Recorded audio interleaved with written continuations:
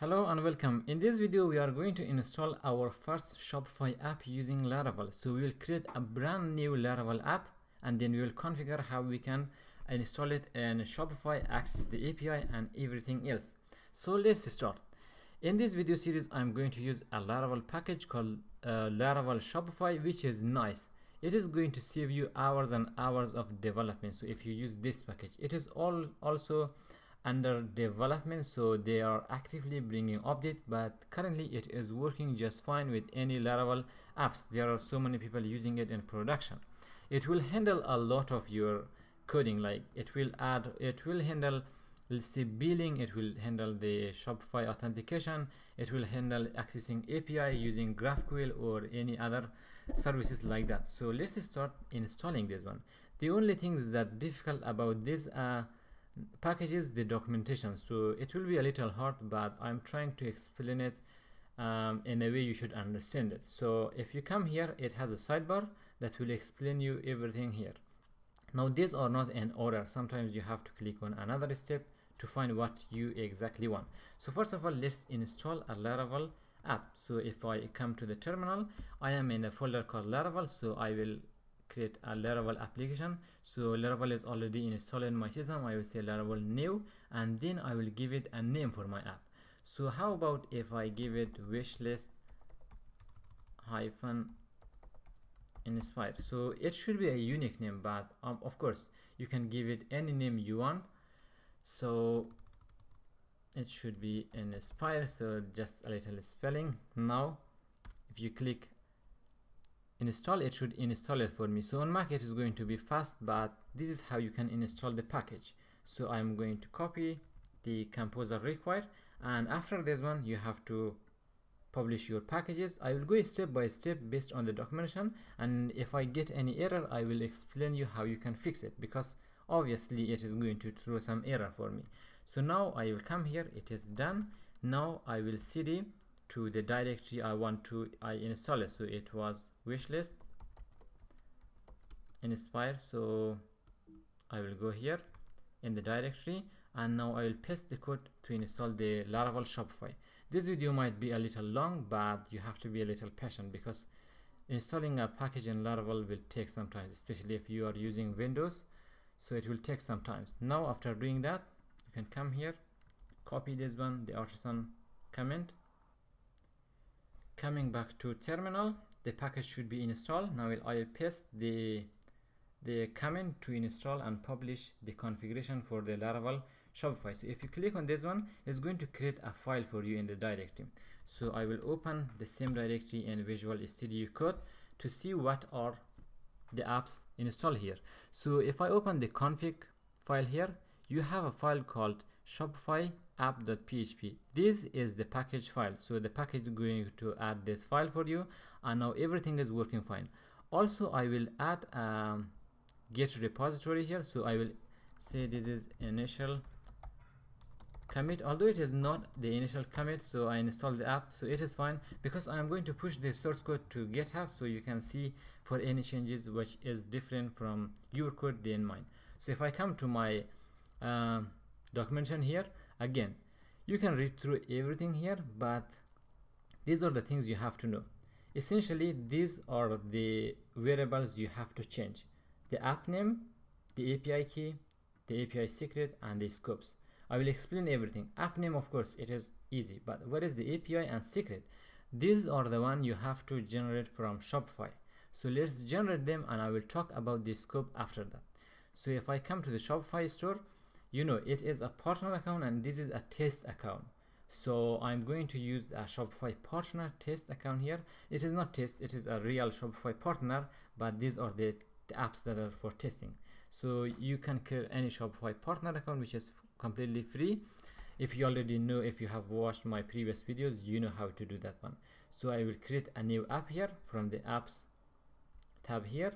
Now here it is going to ask you which type of app you want to make is it a custom app or a public app? You always select public app because you are going to sell your app to shopify store. These are the things you have to know. If you select the custom app still you can develop your app but you cannot sell it somewhere else unless you are developing for a specific customer which you the shopify developer also have to review it and approve it. So now you come here you are going to give it a name now uh, what is the app url for you? Now the app url is very important. For me it is easy because uh, as i said i'm using laravel Valet. So if i come here what was the the folder name we had? It was wishlist hyphen inspire.test if i run this one it should run my laravel app here. So i will copy the same thing and i will come to the shopify store here. For now i will paste it here and I will also say it is going to run on HTTPS so that's fine. And for the wish to for the whitelist redirect you have to add the same thing slash authentication. So this is what you are going to add here. So you can copy this one. You'll paste it here. This is what you are going to add. So it is fine but you know our app does not have a https it is not secure. In laravel it is easy. You will come to your directory here and you're going to say uh, Valet secure. If you run this one it is going to ask for your password. So if you enter your password correctly it is going to secure this directory for you. It will restart the nginx and uh, as you may know this laravel Valet is using ngrok so if you know how ngrok is going to work you know how to add this on windows too. So if you can install this one on windows and it should work just fine. So i think laravel Valet is working with ngrok also. So if i refresh this page now as you can see it is secure with a lock here. So it is going to be secure for me. Now it is fine here everything. Now just create the app. So once you create the app it is going to let you uh, create the API secret and key. So this is the API key and this is the secret so you can copy them and use them. Now the thing is if I come to my Laravel app here where you store those files those are these are all the settings you have in this file but it always accesses from the env env is the file we have. So if i come to my file in the home directory you know you have a env folder here. So i would always store them here. Laravel debug i'm not going to store that one here but for the rest of it I will come to the config and copy them. What are the rest of it? Only the app name API and the secret. So I will store only those one.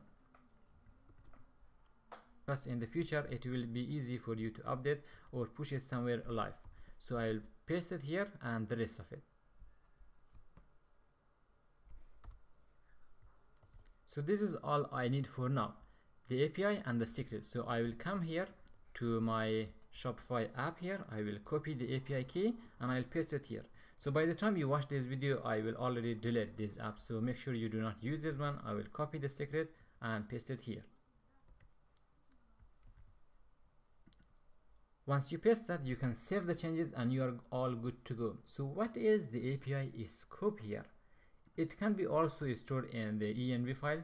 I'm not going to do that one.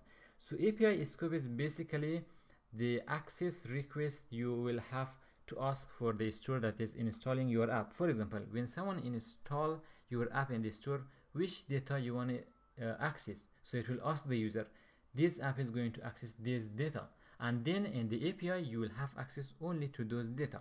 So you can read product you can write product you can do any other also. So the whole list of it is going to be available if you search for Shopify scopes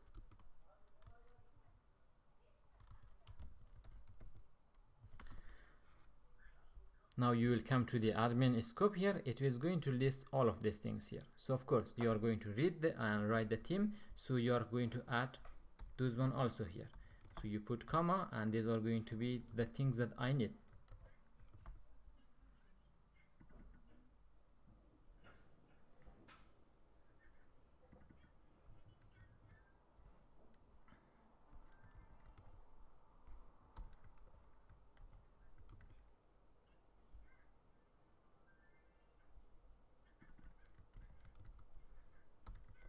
so that's it for me. I'm not going to add more of it. So i just need to read customer read orders. So that's it. I will save it for now. And now your app is ready to go.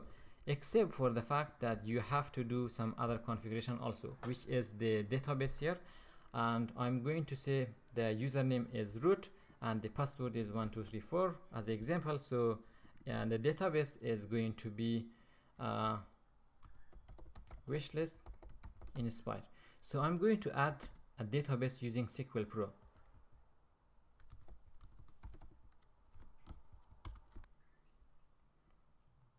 Here in SQL Pro, you can come to the choose database. If you do not have a database, you can add one. So just give it a name. And for me, it was the wish list inspired. So I will create the name here and it will add a database for me. Now it does not have any table, so it is just fine. Now everything looks fine to me. I will save this file and as you can see, everything is working just fine here.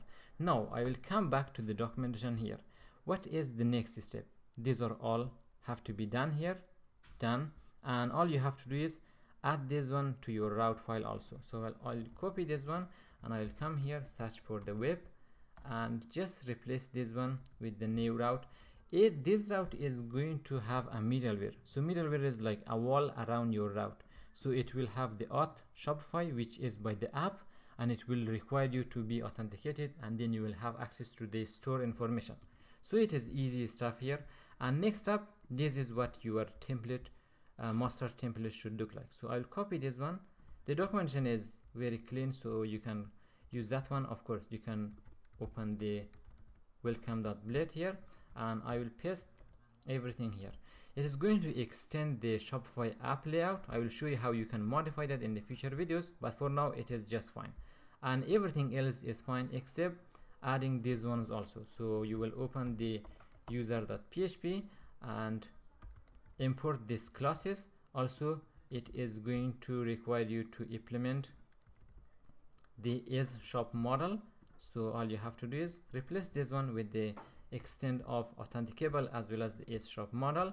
And finally use shoppable shop model not shoppable. So this is the complete uh, class that the user class the complete look of it. So this is just fine for now. You don't have to worry about job or any other things. Next up you have to migrate your data. Now if you come here you copy this one. Let's migrate it and see if everything is working fine. I'll come to the terminal clear everything. Let's make it full screen. And now I will paste the code. So let's run it and it is going to say unable to publish resource. It is fine but it did migrate everything for me. Now if I come to my app here I will show you what are those examples. Now if I run my my app here so as you can see the login screen looks like this because the app we have installed. Now all you have to do is enter your shop uh, URL here it will install this app to that shop. So let us do that now.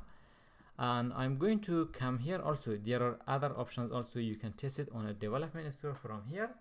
If I come let's do it from here. So it will require you to select a store. From here I will say uh, code inspire div which is a store I have here. I'll click on that. It is going to install my app and let's see if it threw an error. So I hope it threw an error so I can fix it for you. If not then everything is working fine. Yes everything works fine. Good. Yes this is the step where scope is like asking.